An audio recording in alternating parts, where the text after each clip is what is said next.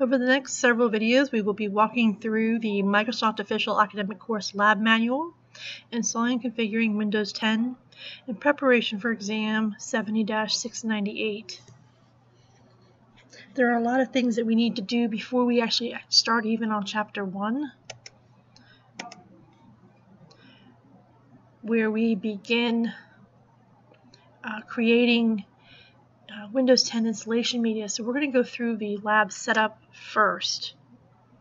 The lab setup was available. I am an instructor of these classes and the publishers provided this. I did not write this. Again, this was all done by the publisher.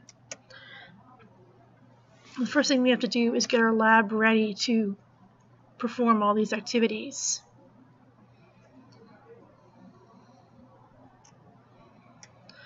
Um, it consists of a single physical server running Microsoft Windows Server 2012 R2 standard and a number of Hyper-V virtual servers and clients.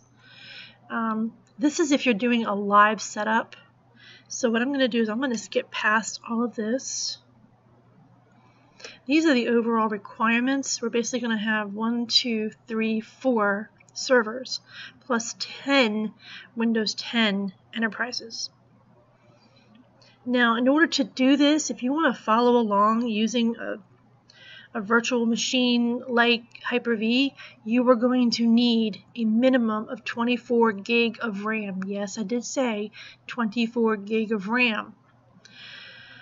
And since they don't sell RAM in 12 gig increments, I had 16. It meant that I had to purchase another 16 gig of RAM, so I now have 32 gig of RAM on my machine in order to run these virtual machines.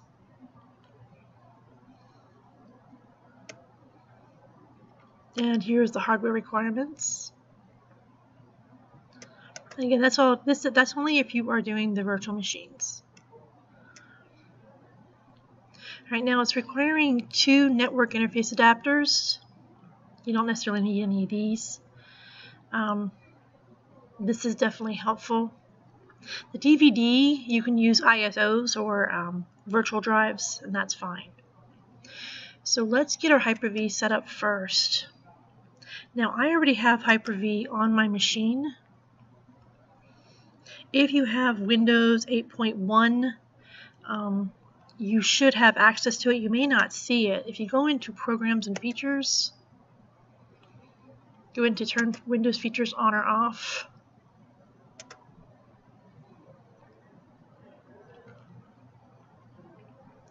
I scroll down, you can see I have Hyper-V. Now, if you pull this up and you've never used Hyper-V before, you want to go ahead and select this. If it's grayed out, what you're going to have to do is go into your BIOS and enable what we call virtualization. If you're not sure how to do that, I would pull up another YouTube video on how to access your, your BIOS.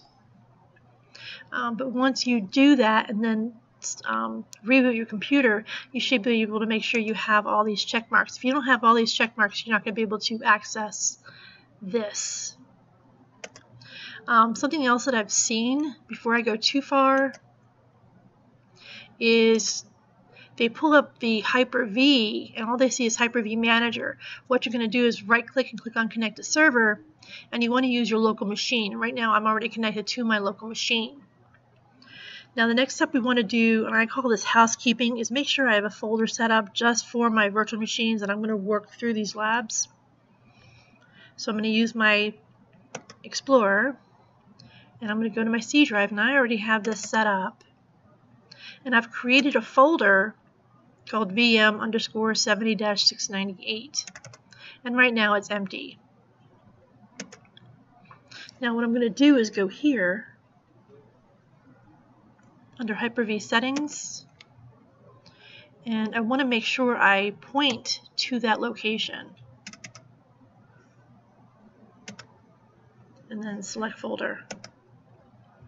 And I'm going to do the same thing for virtual machines.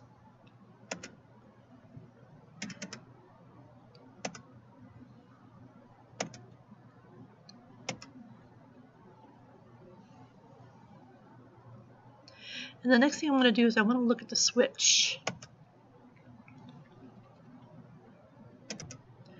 Alright, so here we're going to create a new switch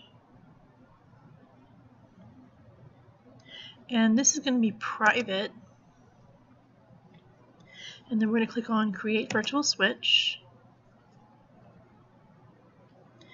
And in the name box, we're going to call this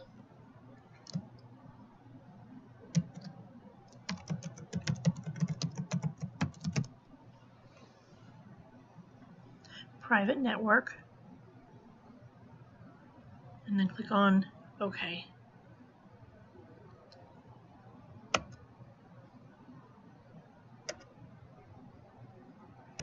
All right, and we want to go back to Virtual Switch Manager again, and we want to add one more private switch. And we're going to call this Private Network 2. And then we're going to click on OK.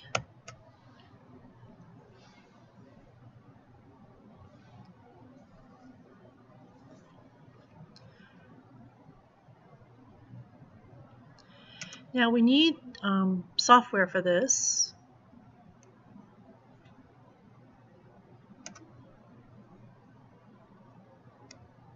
And these are the sites to download the software from. So you can go here and download for Windows Server 2012 R2 standard. We can go here. Need to unselect this.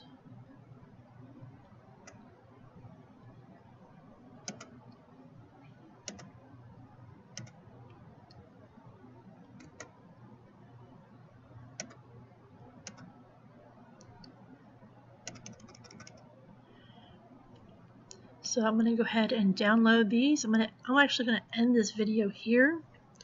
And we're going to go ahead and download these into the same folder. And then the next video will pick up after these have all been installed, uh, downloaded.